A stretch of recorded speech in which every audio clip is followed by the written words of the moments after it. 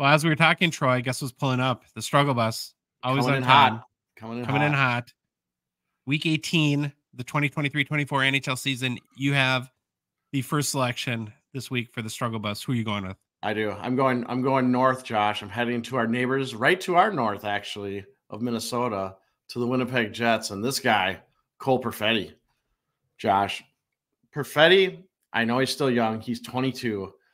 He was the 10th overall pick in the 2020 NHL draft. Currently in his third season. However, the past month has not been kind to Perfetti. He got after a good start, didn't he? Though, like He did. He did. I will. I. I that's my next point. I'm a bated breath. I can't wait. Yep. Oh yeah. So right now in his past over the past month, Perfetti has no goals, one assist for one point in those 10 games played. That is not good, Josh, and they need more out of him than that. Definitely. So yeah, and before this, so Josh kind of hinted to it. Perfetti was actually doing really well. So up until this cold streak started for his last 10 games, up until that point, start from the NHL season up until the cold streak, Perfetti had 14 goals, 15 assists for 29 points in 40 games played. So doing really well. On the season, he Perfetti has 14 goals, 16 assists. If you do the math, you probably realize that. 30 points and 50 games played. Projecting this out, he's on pace for 49 points. Now, Josh, I was thinking about Perfetti a lot, and I was like, hmm, I wonder just kind of what happened. There wasn't a lot of, I didn't find a lot of Winnipeg Jets media writing that much about him. But then I started thinking about he has a little connection with the Wild and Mhm. Ryan Hartman. If you remember, Hartman is the one who basically got suspended for intentionally high sticking Perfetti on New Year's Eve. And I'm curious if he had any lingering effects from that. And then Hartman kind of got in a kerfuffle because it's basically on audio of him telling Perfetti he he went after him intentionally to as retribution for Kaprizov getting injured by I believe when they played Winnipeg, but I don't think Perfetti was involved in Kaprizov getting injured. So we decided, I guess Ryan Hartman decided to take it out on Perfetti, but No, it was a Dylan guy. that injured him. Yeah. What was Yeah. his name? I, I I keep thinking of the the guy, the other guy with the whole legal thing. Oh, Dylan, Dylan Dub- Danis. Dube or Doobie or Dube. Is it Dylan Danis? Is that who it is? Well, why can't don't I think of it?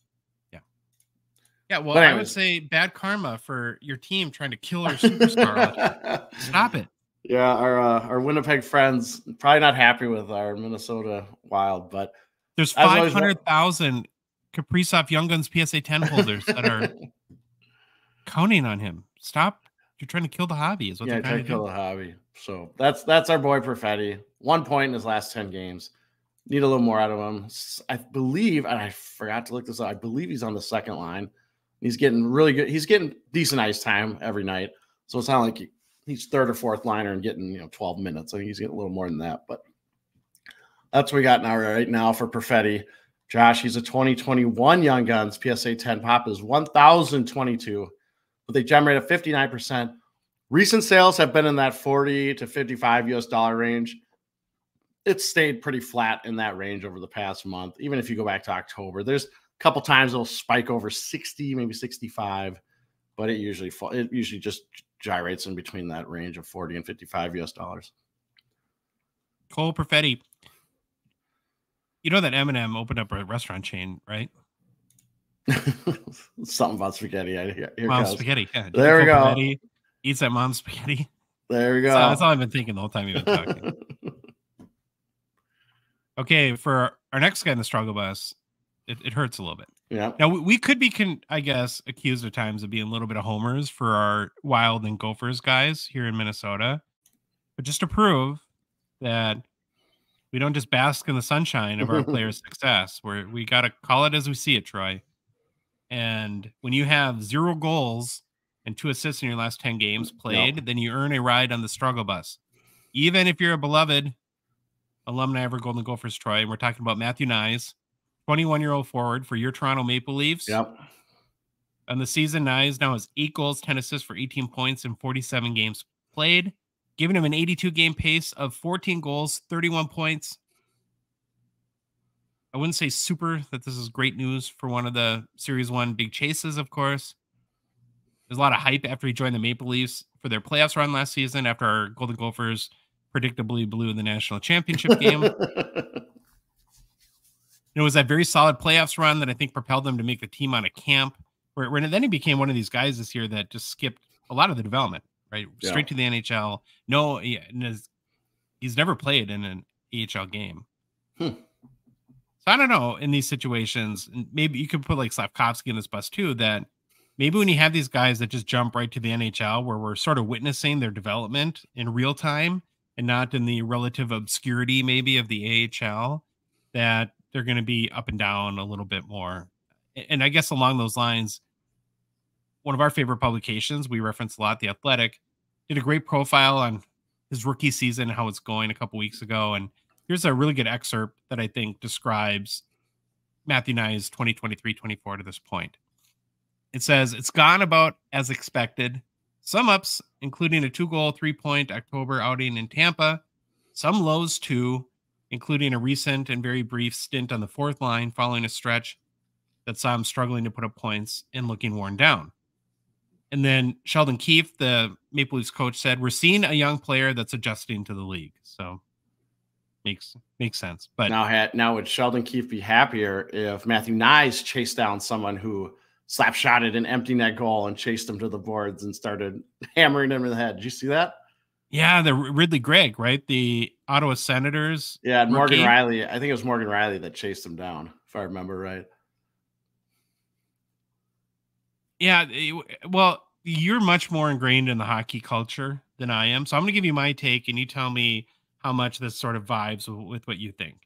I put that whole thing in the same sort of like I, I make the comparative to baseball and all those stupid unwritten rules that baseball had. Yeah. Right. Like if you hit a home run, you have to drop your bat. You can't drop it too slow. You can't drop it too fast. You have to do just right. You can't look left or right. You can't smile yeah. and you have to run at exactly a 14.37 mile per hour pace. Otherwise, is going to be a bench clearing problem. Yeah. And uh, this is kind of the same way. I, I sort of fall into the if you if you're going to be mad that somebody scores a goal, then don't let them score a goal. Yeah. And, and I think actually it was super cheap and dangerous yeah. for how Rielly hit great. Whether it's whether it was in line with sort of this the um uh what, what do you call it the gentlemanly nature of the game or just the whatever. unwritten rules, basically. Unwritten rules. You don't go and potentially injure a guy because of it. But yeah. that's my thought. So uh, how does that? I'm guessing that kind of old school hockey guys yeah. have a much different take. Well, yeah, you're gonna have old school versus new school. There's it's a very it seems like a very black and white issue. I'm like no one's in the middle. It's either yeah he got what he deserved, mess around and you find out. I'm using better language or nicer language than that, or else it's you know stop getting mad, let them do what they want, show some emotion. I'm okay with I'm here's what I'm not okay with. I'm not okay with you going after him and like almost you could like end a career with the, that check to the head. He cross checked him right in the head, if I remember right, and into the boards almost. Yeah, that's where that it gets. I I have no problem going after him. I have no oh, like problem. hockey hugs or whatever you want to yeah, do. Yeah, hockey fine. hugs or maybe give him a little shot in the calf or in the gut. You know, just something to let him know that hey, we saw it or you know we don't appreciate it but I don't like a complete cross check to the head or going to the head. That's where it gets a little iffy for me. But that's that's how I look at it. So enough of that. well, the last thing I'll say is that, and even like strategically, you would think shooting a slap shot gives you a much lower. I mean, there's a much higher percentage that you're going to miss the net. Wow, he was literally and, like one foot in front of the net. Yeah, okay, right, let's get back to Matthew Knies. So we watched Knies play a bunch with the Gophers, of course. Yeah. Admittedly, have not watched him a ton other than the playoffs last year, especially this year with Toronto because we don't get to see their games real often. And I probably have made this point before, and uh, it just pains me to say this, but because I, I, love him and I love our all of our Golden Gophers, but I've never thought of him as having like dynamic superstar skill set. While watching him play, he seems like a really good, really solid kind of net front presence, battle yeah. in the corners, score dirty goals, kind of Zach, not as small, but a Zach Parise yeah. type scorer. And, and so I, I, don't know, like, if he's going to be a hobby superstar really ever. I would actually probably bet against it if I had to. What do you think? That's what I've kind of thought. I think he, will be a good. I think he'll have a long career. Now it's funny. So, yeah. Zach, well, it's funny said Zach Parise because I would love it if he had a Zach Parise career. Parise's got 430 goals. Oh, I know. Yeah, that it's wasn't great. a knock.